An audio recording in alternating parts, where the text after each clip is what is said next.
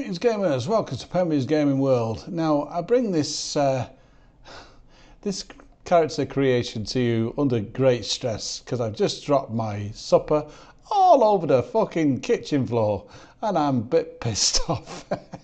I've got over it now. I'm just itching to show you this uh, latest CAF creation. Clubber Lang from Rocky 3, made famous by Mr T and uh, this is my interpretation of him. Fighter type, you can see he's a boxer powerhouse. General info. Now I'm not so sure on his height. Correct me if I'm wrong on 188 centimetres. I wish he had a, an option to change it to feet and inches. Like, you know, the American version of the game. Now you can see the nickname Clubber is actually in the game. So, you know, if you, if you go to any of the arenas, Bruce, uh, what's he called? Oh God, what's he called? Bruce Buffer, he's gonna he's gonna call you Clubber in the intro. Philadelphia, where the Rock, Rocky movies were set, and his posture is Francis Ngannou. Ngannou. Um, I'll just give you the actual bit you want to see. Let's start with the hair. Hair 43, eyebrows 2, and you can see the black, so there's no point showing you that facial hair 21. Now I've used that once because, you know, it's, uh, it's as close that I could get. I had to use tattoos and, you know, there's a lot of you out there who'll probably say, well, I can do the tattoos better than that. But this is just a CAF formula. If you, uh, if you can do the tattoos better, then go right ahead. Just uh, give me credit if you create this uh, creation from, you know, from, you know, from watching this video. Body hair, of course, none.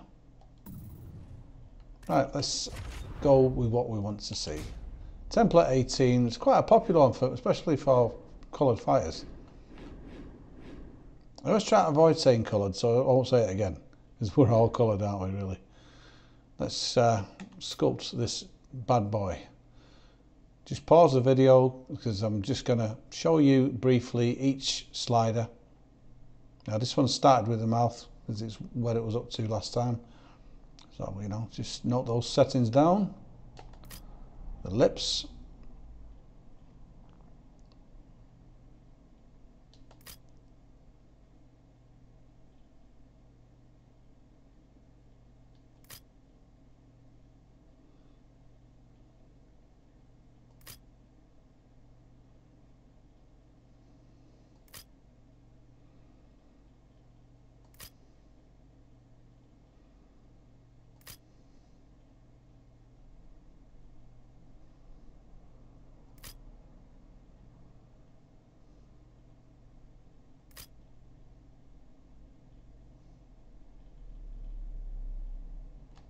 And there we go. The eyes, and I've gone for the darkest eyes. Now, skin tone. I've gone for that one. Let's have a look at that one. Does that suit him more or does that suit him more? I've gone for that one.